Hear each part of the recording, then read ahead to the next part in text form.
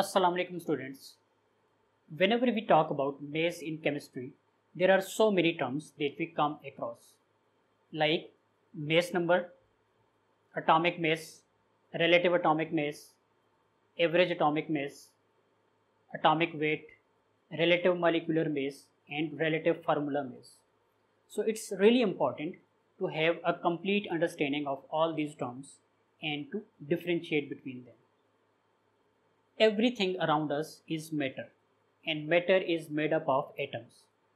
An atom is the smallest particle of matter which cannot be further divided by any chemical means.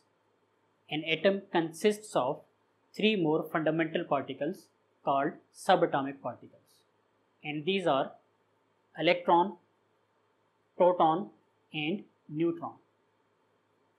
In an atom, electrons revolve around the nucleus whereas protons and neutrons are contained inside the nucleus. An atom has an equal number of protons and electrons. The number of protons or electrons in an atom is called its atomic number. It is denoted by Z. And the total number of protons and neutrons in an atom is called its mass number. It is denoted by A. The atom over here has 4 protons and 5 neutrons. So its atomic number is 4 and its mass number is 9. As in our daily life, we use standard masses to find the mass of an object. Likewise, in chemistry, we do have a standard mass and the masses of atoms are found relative to this standard mass. We take an atom of carbon 12 and divide it into 12 equal parts. Now each of these parts is 1 12th of the mass of carbon 12 and it is called an atomic mass unit. It has a mass equal to 1.67 times 10 to the power minus 27 kg and this is the mass of a proton or a neutron. So this is our standard mass in chemistry and the masses of all the atoms are determined relative to this standard mass. For example, an atom of helium with 2 protons and 2 neutrons which has a mass number of 4 has a mass equal to 4 atomic mass units. So we say that the relative atomic mass of helium is 4 atomic mass units. Similarly, an atom of oxygen with 8 protons and 8 neutrons has a mass number of 16 atomic mass units. Also, its relative atomic mass is equal to 16 atomic mass units. So the relative atomic mass of oxygen is 16 atomic mass units. Hence the atomic mass or relative atomic mass of an element can be defined as the relative atomic mass of an element is the mass of an atom of that element compared with the mass of 1 12th of the mass of an atom of carbon 12. It is denoted by AR. Hence, the relative atomic mass of helium written as AR of helium is 4 atomic mass units and AR of oxygen is equal to 16 atomic mass units. So far we have seen that the mass number of a helium atom is equal to the relative atomic mass of helium. Similarly, the mass number of an oxygen atom is equal to the relative atomic mass of oxygen. But the mass number and relative atomic mass are not always equal. An element consists of millions and trillions of atoms. So, the mass number of an atom of an element may not be equal to the actual mass of that element. This is because there are atoms of an element which have different mass numbers. Such atoms of an element are called isotopes.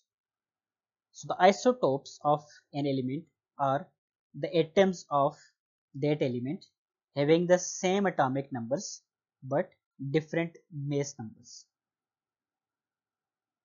So if an element exists in the form of isotopes then in order to find its relative atomic mass we take the average mass of all of its isotopes and this average is calculated based on their percentage abundance or their proportion in which they are found on earth. So if an element exists in the form of isotopes, so its relative atomic mass is determined by using this formula which states that the relative atomic mass is equal to percentage abundance multiplied by mass number of first isotope plus percentage abundance multiplied by the mass number of second isotope and so on.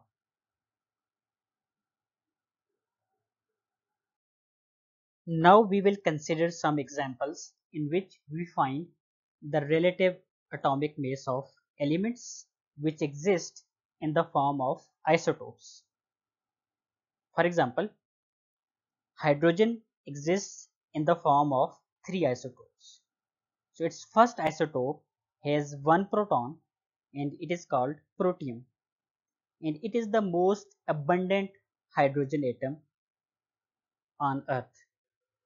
So its percentage is 99.972% or its percentage abundance is 99.972%. Since it has one proton in its nucleus, its mass number is 1 atomic mass unit. The second isotope of hydrogen is deuterium. It has one proton and one neutron in its nucleus. So it has a mass number of 2 atomic mass units and its abundance on earth is 0.028%.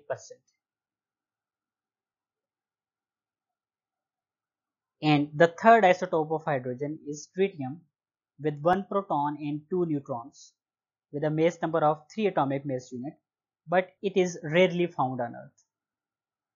So now in order to calculate the relative atomic mass of hydrogen from all of its isotopes and from their relative or percentage abundances we use the formula that we have just studied. So the relative atomic mass of hydrogen will be equal to the percentage of its first isotope multiplied by its mass number. So it will give us 99.972% of 1 AMU plus the percentage of second isotope multiplied by its mass number. So it will be 0.028% of 2 AMU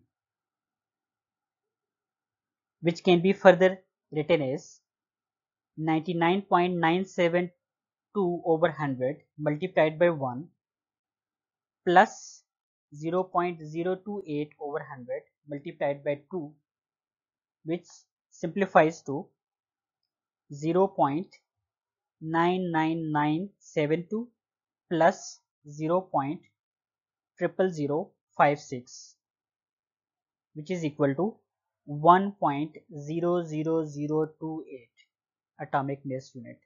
So this is the relative atomic mass of hydrogen. But it is always rounded as 1 atomic mass unit. Here we can see that this is not a whole number. Hence the mass number and relative atomic mass are different. Now we take another example and we consider the isotopes of chlorine.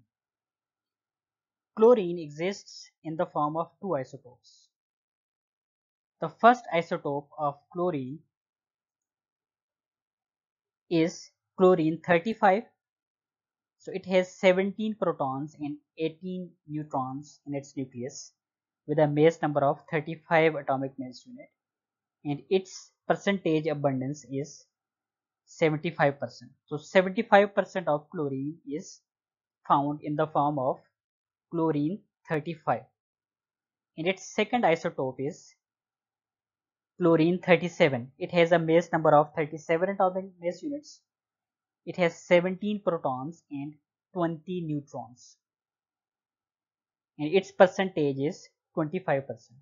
So 25% of chlorine exists in the form of chlorine 37 and hence the relative atomic mass of chlorine will be equal to 75% of 35 AMU plus 25% of 37 AMU. So which is equal to 75 over 100 multiplied by 35 plus 25 over 100 multiplied by 37 which is equal to 26.25 plus 9.25 which is equal to 35.5 atomic mass units. So the relative atomic mass of chlorine is 35.5 which is not a whole number. So, hence, we have clearly seen the difference between mass number and relative atomic mass. Mass number is always a whole number whereas the relative atomic mass may not be a whole number like over here. Hence we can say that the relative atomic mass expressed as AR of an element is the average mass of its isotopes compared to an atom of carbon 12. It is also called average atomic mass or atomic weight or simply atomic mass. Mass number is meant for an atom and relative atomic mass is meant for an element. Mass number is always a whole number whereas relative atomic mass or atomic mass may not be a whole number.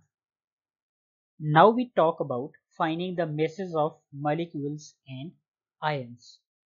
So we will define relative molecular mass and relative formula mass.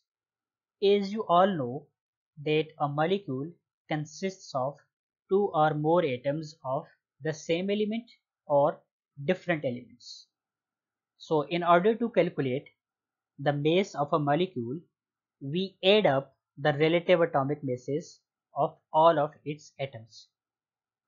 Hence the relative molecular mass is defined as it is the sum of the relative atomic masses of all the elements in a molecule. It is denoted by MR.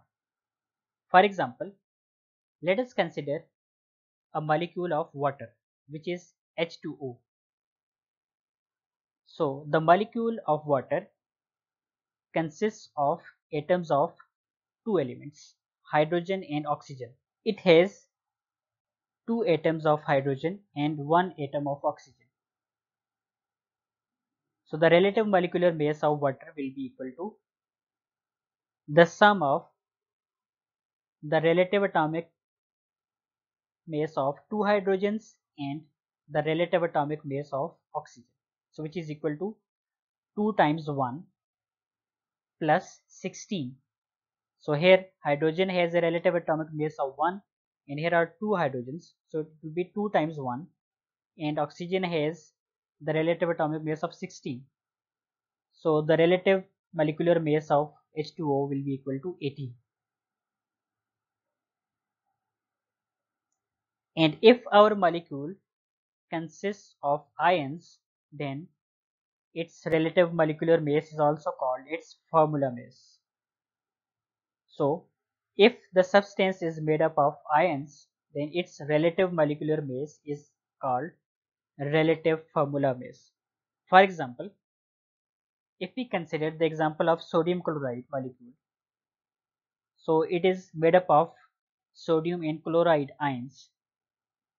So its molecular mass will be equal to the relative atomic mass of sodium which is 23 plus the relative atomic mass of chlorine which is equal to 35.5 so it will be equal to 58.5 so this is now called the relative formula mass because sodium chloride is an ionic substance. So in today's lesson we talked about the masses of atoms molecules and ions. With this we come to the end of today's lesson and in the next lesson we will pick the past paper questions to illustrate all these concepts. So don't forget to subscribe my channel for that. If you have any suggestions or questions, write them in the comment section below. Thanks for watching.